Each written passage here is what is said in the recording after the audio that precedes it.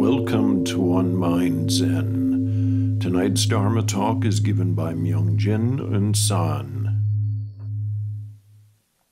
Peter Coyote uh, is is a Zen practitioner. He was uh, at San Francisco Zen Center for a while, and also the narrator of umpteen uh, Ken Burns films.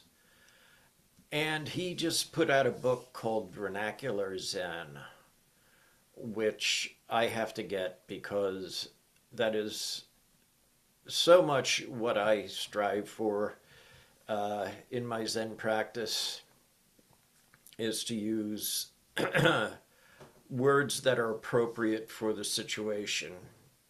Um, a lot of times we can fall into uh, really kind of zenny habits where, you know, somebody asked me, What is Buddha? What is Buddha? Dried shit on a stick. Ask me again. What is Buddha? Cypress tree in the courtyard. Both of those I would give the big ah, because I am not in a latrine anywhere. I don't use a stick, and I don't have a cypress tree, much less a courtyard. The appropriate answer for me right now would be if I wanted to go the garden route, I could say piles of wet mulch is Buddha, or I could say a 24 inch monitor in front of me is Buddha. But all these other things are just, you know, little Zen phrases we like to throw around to show how zenny we are a lot of times. Um, another couple are are um, go drink tea, sort of a dismissive, passive aggressive thing to say, you know, if you really think about it. But so far as I'm aware, the only person that would be appropriate for me to say that to right now would be Kevin, because he mentioned that someone just brought him a cup of tea. And since he has the purple waves in the back, ah, there you go. Okay, so ding, ding, ding. Uh, appropriate. Another one is go wash your bowls. I didn't just eat breakfast. I generally don't eat breakfast anyway. So telling me to go wash my bowls would be just inappropriate.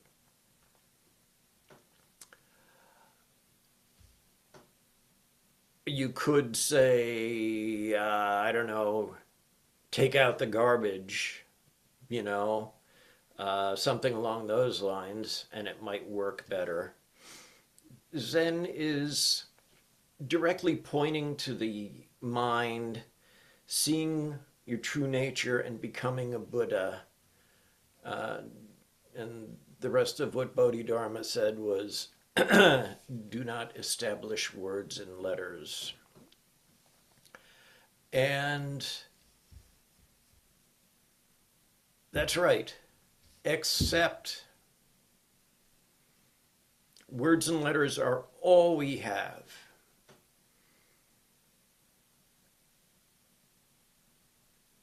You know, we can talk about fingers pointing to the moon and all that, which is another one that, you know, like unless you are literally pointing at the moon and there's a moon at which you can point, again, I'm going to look askance on it. Yes, Kevin, you you have a moon to point to there. Okay.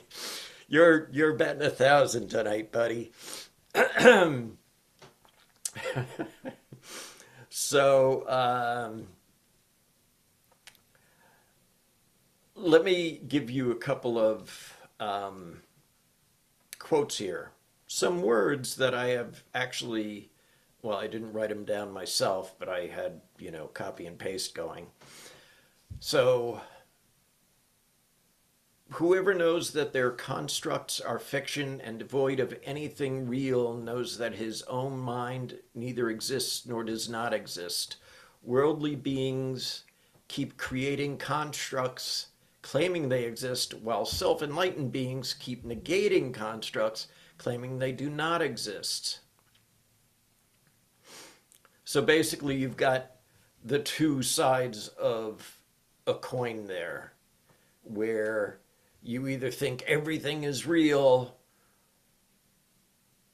or you go the other direction and you cling to emptiness. Oh, none of it exists. Or more like, uh, everything exists as one. You know, the full picture is not two, not one, and you can't leave either of them out. If someone says to you, not two, you'd better come back immediately with not one, because that's how it works.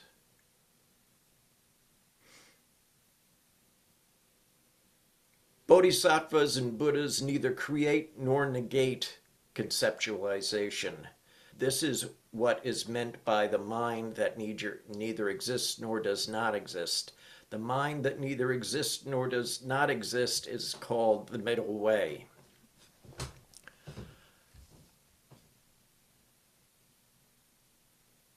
We try and stick to the middle, right? not to go off into a ditch on this side of the road or on that side of the road because we've seen that either extreme is only going to get you in trouble.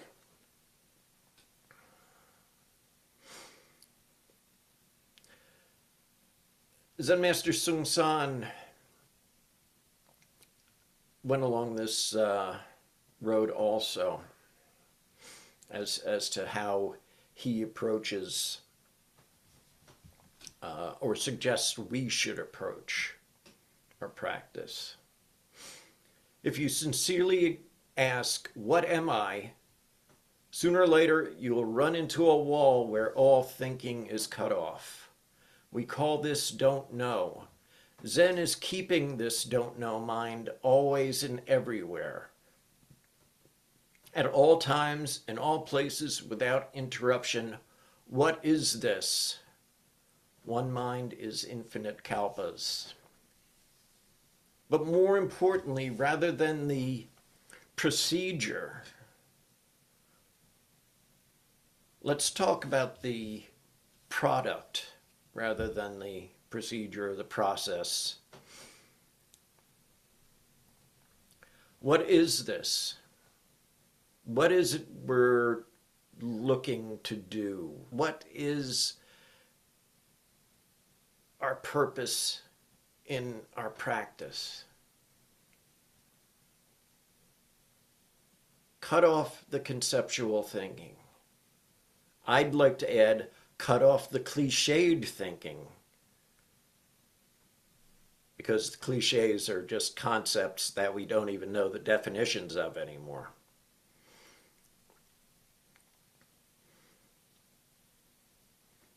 Name of the Sangha is one Mind Zen Collective, which comes from uh, Huangbo. And uh, his big statement that we have right on the front page of the website is all the Buddhas and sentient beings are nothing but one mind, beside which nothing exists. It's what you see before you. Begin to reason about it, and at once you fall into error. The one mind alone is Buddha. What is this one mind?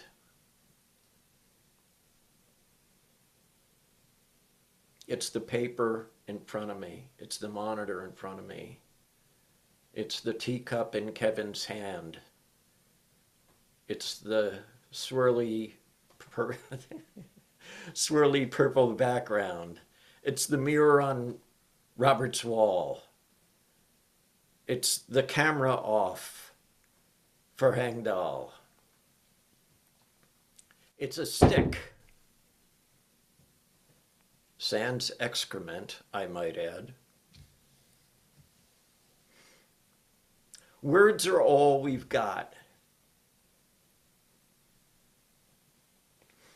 We can say, yeah, maybe example is good. You could say that. I wouldn't quibble with that any. It's probably uh, better than just talking about it. I mean, if you're hungry, you eat something, you're going to be better off than you're hungry and you eat a menu, right? Mazu said, mind is Buddha. Huangbo said, everything is mind. So you should be seeing a connection here that whatever it is right in front of you is Buddha. And we take refuge in the Buddha. We take refuge in the universe. We don't exclude anything. We don't attach to anything. We don't negate it or treat it as if it were uh, permanent or had some sort of self nature. Right? We're in it right now, right here. Who have you helped today? Have you done anything for anybody else? Are you basically all talk and no walk?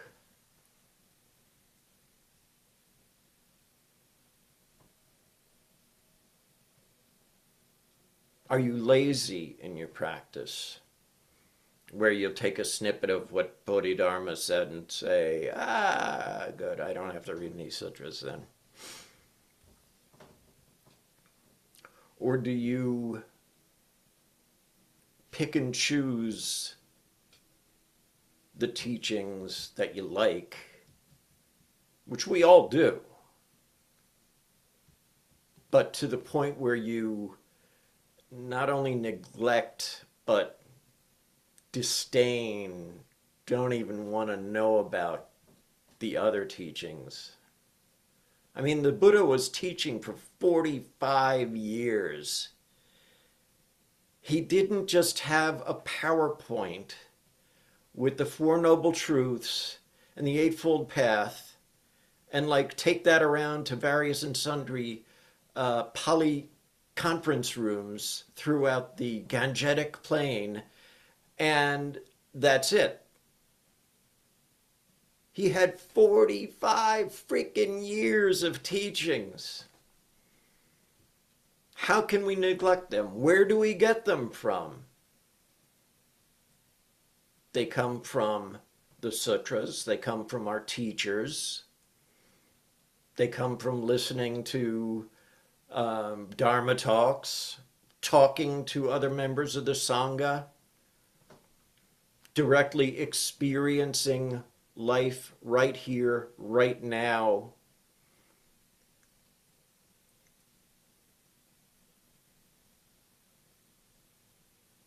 If you can directly experience right here, right now, without any hindrance whatsoever, fair play to you. That has never been the case with me. I very easily fall into worldly mind certainly came from a place of worldly mind where you know everything had a self nature. Everything was the end of the world if it went wrong. Everything was perfect la di da flowers uh, if it went right. And then i got upset when it didn't go right. And you know i'd say oh the sun will come out tomorrow. And the next thing you know there's a drought and it's 115 degrees at midnight in Albuquerque.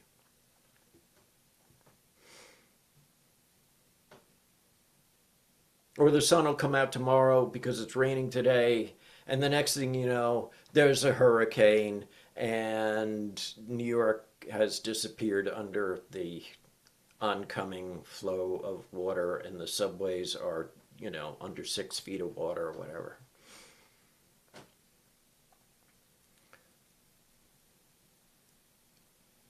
Words are all we got. Let's use them wisely. Let's not attach to some and not bother even listening to, pay attention to, thinking that maybe there's something to them on those other words. Especially if it's the wo- words of the Buddha, words of the sages and patriarchs and teachers and everybody else who has gone before us and has probably been well versed in all of these things and have attempted to make some sort of effort to try and get the point across. You can neglect it if you like, at your own peril. Neglect is a hindrance. Do you want hindrances? If you want hindrances, all yours. It's not something that we can take lightly as practitioners. We practice Zen to practice Zen. Zen practice is pointing directly to the mind, seeing our true nature. When we do that, we can say, oh, we're enlightened, if you like, or awakened, or you can say, eh, just another word, how may I help you? So, in closing, if you come up to me and say something like, kill the Buddha without any of the context around it, or go drink tea, or go wash your bowls, I'll hit you 30 times. Oh, no, wait, I probably wouldn't actually hit you 30 times because that's just another cliche. And I would probably just roll my eyes, mutter softly under my breath, and sigh because I do that a lot.